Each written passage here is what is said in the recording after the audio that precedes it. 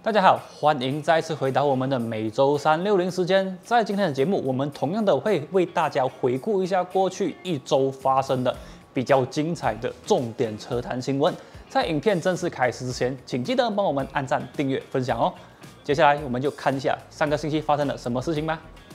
首先，第一个新闻就是对大家来说非常好的消息，那就是政府在二零二二年的财政预算案中宣布了，他们将再一次延长汽车销售税豁免的政策。原本汽车销售税豁免将在二零二一年的十二月三十一日结束，但是延长之后呢，将会到二零二二年的六月三十日才结束，也就是代表在未来的半年多的时间，大家依旧可以买到这一个豁免销售税的汽车。其中 CKD 的车款可以获得一百八千的销售税豁免，至于 CBU 的车款则是五十八千，而商用车，例如说皮卡呢，则是不在这一次的优惠中。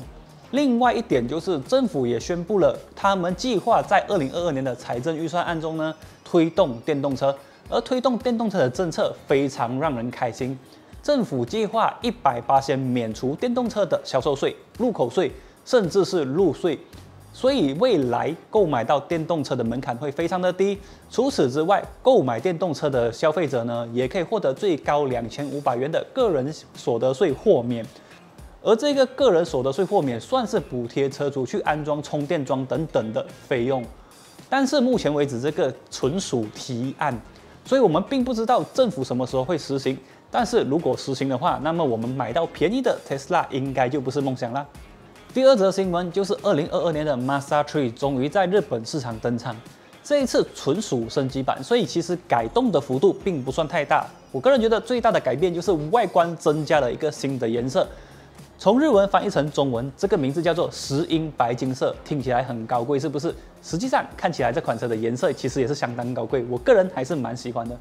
除此之外，据悉这款车在头灯组上面，它的方向灯会导入和 CS 三十一样的设计。也是流水式的方向灯，看起来视觉效果更出色。除此之外呢，就是引擎动力的升级了，主要是在这个 Sky Active X 的版本进行升级。因为消费者时常投诉说这个版本的运动表现并不足够，所以原厂会注重在这个引擎的线性表现，还有这个引擎的声浪做出调节，让这台车开起来更为的运动化。值得一提的是，目前马来西亚版本的 Mazda 3已经处在售罄的阶段，所以我们相信未来，也就是明年引进的版本，应该就是这个升级版了。只是不知道新颜色会不会引进马来西亚市场呢？第三则新闻就是这个全新的 Hyundai Staria 正式登陆我国市场，这是一款大型的七人座 MPV 车型，可是它的售价并不便宜哦，接近三十六万令吉的售价，你是否会接受它呢？其实这款车的外观设计方面真的是非常的前卫，我个人非常喜欢它的车尾设计，除了那个 LED 的灯组看起来非常的特别之外，它的玻璃壳也让它的质感提升非常的多。至于在内装方面，原厂采用了大量的麂皮材质打造，包括了这个门板啊、座椅等等，都可以看到麂皮材质的出现，所以其实它整体呈现出来的感受跟一般的 MPV 车型相差并不大。在动力配置方面，马来西亚只有一个引擎配置，就是二点二公升的柴油涡轮增压引擎，最大马力为一百七十七匹，峰值扭力四百三十牛顿米。如果以这样体积的 MPV 来说，这个引擎的动力配置其实是刚刚好。实际上，我们也已经开过这台车，整体的动态表现还算不错。至于未来会不会有机会试驾这款新车呢？就要看 Hyundai Malaysia 会不会为我们安排了。如果是各位的话，你们会选择 Hyundai Staria 还是 Toyota Viewfire 呢？第四则新闻就是 Toyota Camry 的小改款车型，预计最快明年第一季引进我国市场。其实这个 Camry 的小改款车型在国外已经发布了一段时间，但是因为东南亚市场遭受了这个新冠疫情的影响，晶片供应不足，零件供应也不足，所以导致主要的生产基地泰国的工厂停工了一段时间。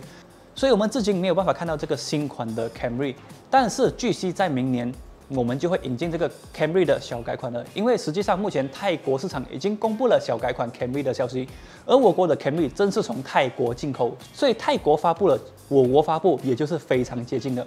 不过，据悉我国版本将不会继续采用这个2.5公升的自然进气引擎，改用2.0公升的 Dynamic Force 自然进气引擎。至于这是不是真的呢？我们就要等待官方的公布了。这具引擎的最大马力表现是一百七十三 PS，峰值扭力两百牛顿米，匹配的是 Direct Shift CVT 变速箱。虽然跟那之前的二点五版本，它的动力表现稍微低了一些，但是它的最大优势是在二点零公升的引擎，入税比二点五公升低不少。至于售价方面，我们暂时也还没有消息，一切都等待 UNW Toyota 官方的公布。最后一则消息，实际上跟第一则消息好像有一点联动，那就是 BMW iX3 正式登陆我国市场。其实这个 iX3 是 BMW 第三款在本地发售的电动车，之前的电动车分别是 i3 还有 iX，而这一次第三款叫做 iX3。我不知道原厂是不是故意这样设计的，因为看起来好像有一点关联，对不对？